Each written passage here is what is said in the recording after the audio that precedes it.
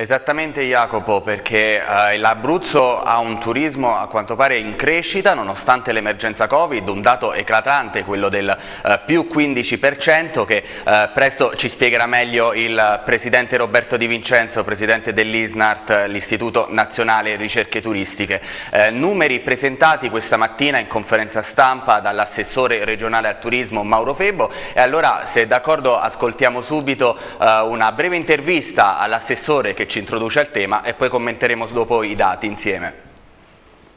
Un dato esaltante, un dato che viene da un'agenzia nazionale come Ismart e Union Camere, un dato quindi effettivo basato eh, sui dati reali e sulle previsioni de, rispetto alle prenotazioni, un dato eh, che segnala che l'Abruzzo ha una performance una delle migliori a livello nazionale e soprattutto che segna un più 15% rispetto al 2019, quindi non al periodo di crisi, segna diciamo, rispetto già a un, a un turismo che era andato bene.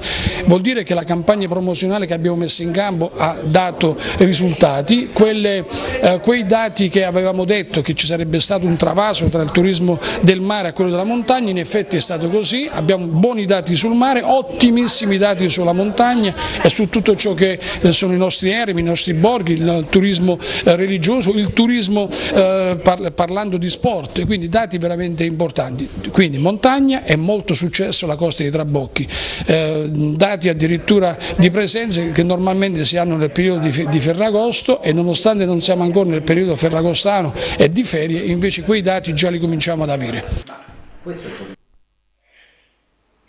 Presidente Di Vincenzo, abbiamo ascoltato le parole dell'assessore Febbo, un dato molto incoraggiante quello che riguarda il turismo abruzzese, più 15%, un dato eh, in controtendenza a molte altre regioni italiane.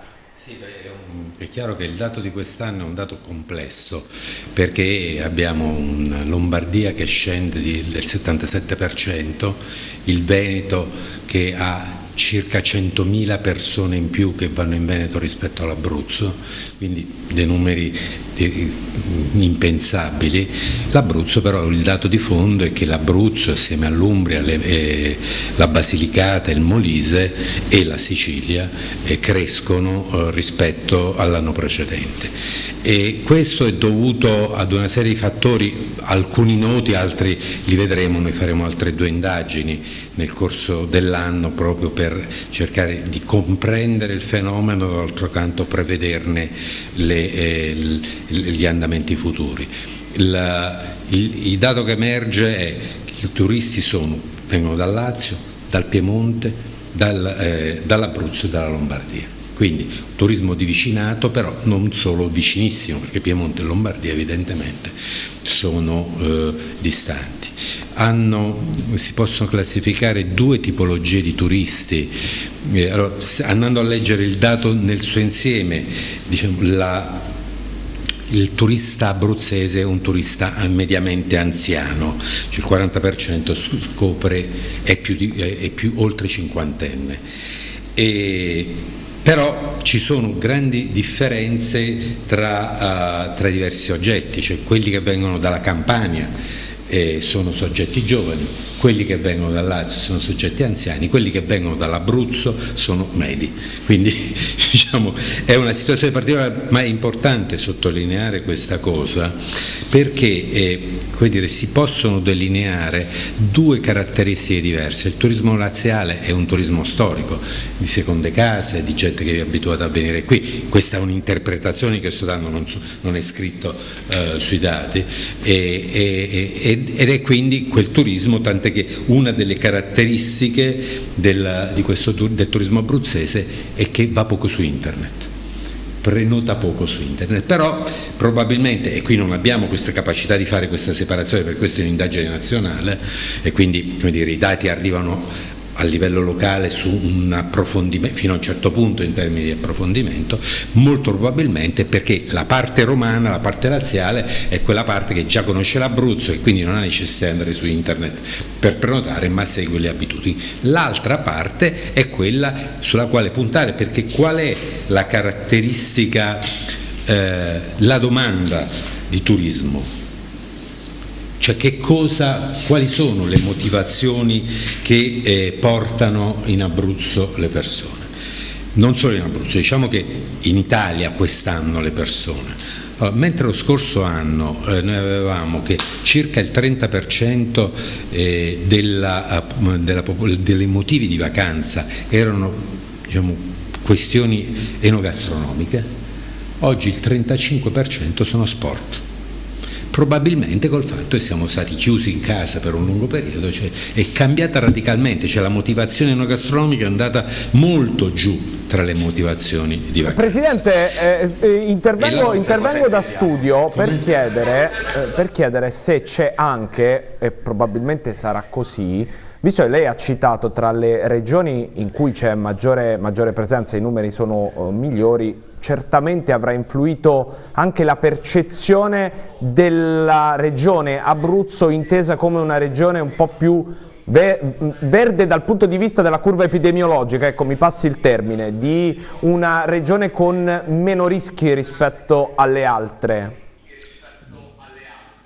Ritengo di sì, però appunto ripeto è una lettura analoga alla sua, nel senso che la, uh, le regioni, prima avevo dimenticato l'Umbria di mettere tra le regioni diciamo, che aumentano eh, persone che vanno in vacanza e, e, che sono quelle regioni che meno di tutte, il Molise addirittura raddoppia le persone che vanno in vacanza in Molise certo passa 100.000 a 200.000, quindi i numeri comunque rimangono limitati, però raddoppia e probabilmente eh, c'è questo fattore, d'altro canto se pensiamo come scende il Veneto e come scende la Lombardia, eh, diciamo che questo è, è, è al contrario la risposta in negativo. Mentre nelle vicinissime Marche, ricordiamo, l'offerta turistica, non l'offerta turistica, il flusso di turisti che arrivano nella regione a nord dell'Abruzzo è in diminuzione. Come mai questo dato opposto? questo non sono in grado di spiegarlo, me lo sono chiesto, l'ho chiesto, probabilmente una delle ragioni è perché eh, il turismo in Abruzzo costa meno. Cioè venire in Abruzzo costa meno che andare nelle Marche. Questo mi ha detto la mia direttrice proprio a domanda diretta, dicevo ma perché? Cioè, perché mi sono rimasto anche io stupito tra Marche e Abruzzo, non c'è grande differenza. E poi perché nei fatti l'Abruzzo ha più carattere rispetto alle Marche perché ha le montagne importanti, ha un mare che sia quello tradizionale diciamo, di costa teramana che è quella principale, sia oggi quella chietina che si va affermando come la grande novità nel turismo anche nazionale, ha dire, delle caratteristiche più specifiche. Il fatto di avere personalità nel turismo è fondamentale. E a proposito di questo, il turismo della costa è sempre quello che va per la maggiore, però quest'anno un boom del turismo, del turismo montano. Sì, sicuramente il tema dell'escursionismo, del trekking sono temi che si sono sviluppati e si stanno sviluppando molto, quindi dire, è indispensabile, utile, importante continuare ad operare nella costruzione di destinazioni turistiche legate al turismo attivo, che è quello appunto del movimento, dello sport, dove principalmente gli elementi più forti, cioè dove gli elementi più forti sono appunto il trekking e la bicicletta. Visto che lei prima parlava della tipologia del turista che viene in Abruzzo dicendo che per la maggior parte sono eh, comunque cittadini abruzzesi o delle regioni eh, limitrofe, la invito a riflettere su un paio di dati, ovvero che eh, un italiano su due quest'anno non andrà in vacanza e che l'86% di coloro che invece decideranno di andare in vacanza rimarrà in Italia, quindi possiamo dire per assurdo che questa emergenza Covid ha dato una spinta al turismo che rimane all'interno della nostra nazione?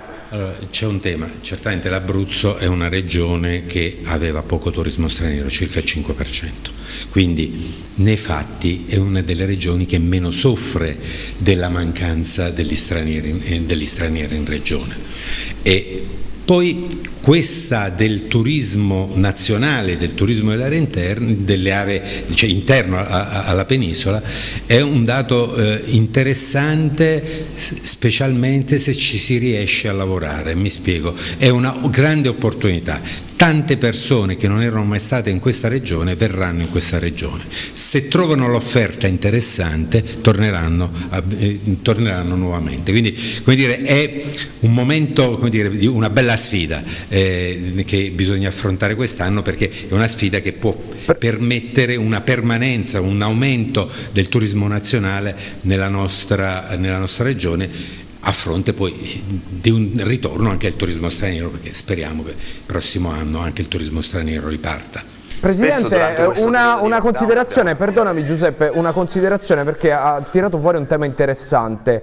Eh, questo è un momento cruciale perché il turista che viene, se si trova bene, eh, con ogni probabilità tornerà anche il prossimo anno. Eh, c'è tutta la questione trasporti perché tra poco Giuseppe ci farà ascoltare anche le parole dell'assessore regionale Mauro Febbo che si riferiscono eh, per esempio alla viabilità sulla, sulla 14. La questione trasporti, quanto può incidere e quanto probabilmente ha inciso su questo dato positivamente o negativamente? Cioè come siamo collegati in questo momento immagino faccia la differenza.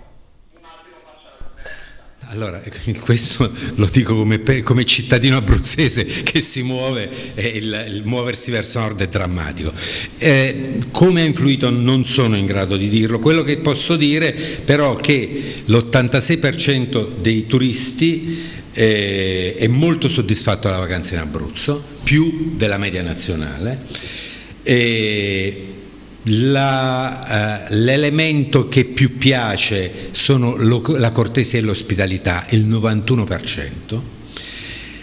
È apprezzato il cibo, eh, l'accoglienza in generale, i problemi sono eh, legati sull'organizzazione del territorio, collegamenti, disponibilità di orari e offerta di intrattenimento.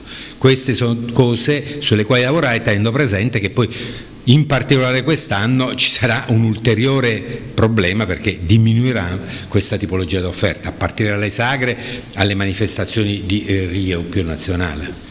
Visto che Jacopo Porcella da studio ha tirato fuori il tema viabilità, perché in questi giorni si torna nuovamente a parlare del caos sulle autostrade, in particolare sulla 14, che appunto come ci spiegava potrebbe avere un impatto anche sul turismo, allora ascoltiamo a proposito di questo le parole dell'assessore Febbo che si è detto pronto a chiedere i danni. Sicuramente ha un impatto negativo almeno, almeno anche come, come, immagine, quindi credo, nonostante questo comunque eh, tutto ciò che l'Abruzzo mette in campo credo che faccia superare anche ai turisti quelle 3-4 ore di code che sono costretti purtroppo a fare. Stiamo cercando di, di, di, in tutte le maniere di superare, di chiedere al governo di intervenire, altrimenti è chiaro che andremo avanti con l'azione di recupero dei danni. Quindi saremo a vedere anche come si risolverà questo tema che è molto importante in, in oh, questo oh, Giuseppe, periodo in Abruzzo, io, ma eh, le volevo chiedere un'altra considerazione. Sì, sì, eh, una considerazione flash, poi puoi andare anche in chiusura di collegamento, però una, una domanda flash al presidente Isnart Di Vincenzo a cui volevo chiedere l'impatto del bonus vacanze è stato positivo o negativo? Ha inciso? Ah, ti ho rubato la domanda, immagino. Da... Proprio di questo volevo parlare perché ecco. il numero è che il, solamente il 7,4% di coloro che vanno in vacanza utilizzano questo bonus, allora possiamo parlare di flop?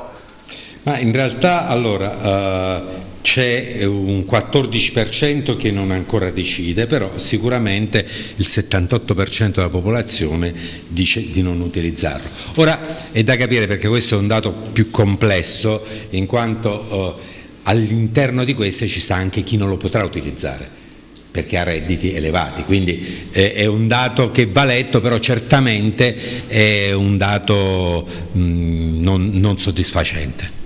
Allora per tirare le somme in conclusione, come giudica l'operato della Regione Abruzzo e del Governo nazionale per eh, sostenere un settore che ha patito molto in questo periodo di lockdown?